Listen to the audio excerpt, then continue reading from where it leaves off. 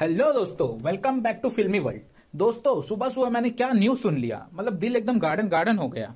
चलिए आपको भी सुना देता हूँ, वो अपडेट क्या है?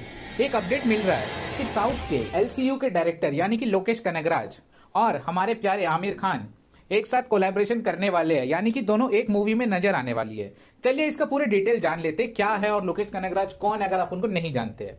तो नमस्ते दोस्तों, आज के वीडियो में हम बात करने वाले एक बहुत ही ज़्यादा एक्साइटिंग टॉपिक के बारे में, जहाँ पर होंगे आमिर खान और एक तरफ़ होंगे लोकेश कनगराज और ये जो पावर हाउस पैरिंग है ना, ये कौन सी मूवी के लिए है और कौन सी इंडस्ट्री इस मूवी को प्रोड्यूस और डायरेक्ट करने वाली है, आज हम इस बारे में बात करेंगे। तो चलिए, पहले मैं आपको ये बता देता हूँ, लोकेश कनगराज कौन है? लोकेश कनगराज साउथ के एक बहुत बड़े डायरेक्टर है और जिन्होंने बहुत ही बढ़िया बढ़िया मूवी दी है। वैसे आपने सुना होगा एल एक सिनेमेटिक यूनिवर्स है, जिसमें विजय की लियो मूवी कैदी, ऐसी बहुत सारी बड़ी बड़ी मूवी शामिल है। तो इसमें अभी ये बताया जा रहा है कि एलसीयू में आमिर खान भी आने नज़र आने वाले हैं हमें। और जब से शाहरुख खान ने अटली के साथ जवान मूवी दी है और वो ब्लॉकबस्टर साबित हुई है, तब से सारे बॉलीवुड वाले साउथ के डायरेक्टर के साथ काम करने में इंटरेस्ट दिखा रहे हैं। जैसा कि हमें रिसेंटली एक अपडेट आया था कि हमारे सलमान खान, यानी कि भाईजान सिकंदर मूवी के लिए काम कर रहे हैं ए आर मुर्गदास के साथ। और अब रिपोर्ट आ रहा है कि आमिर खान ने साइन किया है लोकेश कनगराज के साथ काम करने के लिए एक स्क्रिप्ट तो चलिए जान लेते हैं इसके बारे में और क्या क्या है खास। क्या उनकी कोलैबोरेशन हो सकती है? सोचिए,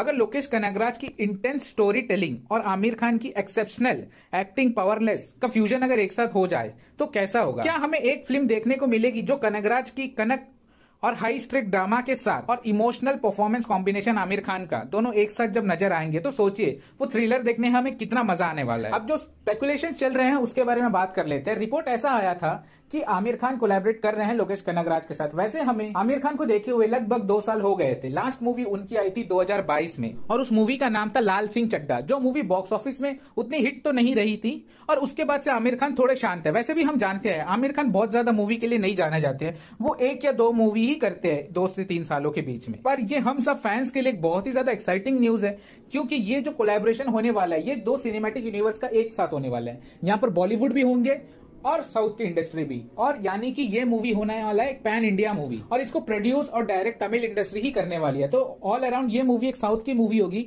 जहाँ पे हमें जो एक्टर है, वो हमारे नॉर्थ यानी कि आमिर खान होने वाले हैं। तो चलिए दोस्तों, ये रहा बहुत ही मज़ेदार अपडेट आपके लिए। आपको कैसा लगा हमें कमेंट करके बताइएगा, क्या ये मूवी आप देखना चाहते हैं? और अगर आपको वीडियो अच्छी लगी है तो हमारे चैनल को सब्सक्राइब करते हुए जाना। इस वीडियो को लाइक शेयर कमेंट करना ना भूले।